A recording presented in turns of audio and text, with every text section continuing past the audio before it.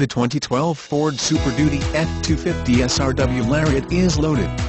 The F-250 has comfortable leather seats, steering wheel controls, dual climate controls, AM and per dealer with auxiliary audio input, sync, Bluetooth, keyless entry, moonroof, heated and cooled seats, backup camera with park assist, tilt telescoping steering wheel, remote engine start and power folding extending side mirrors.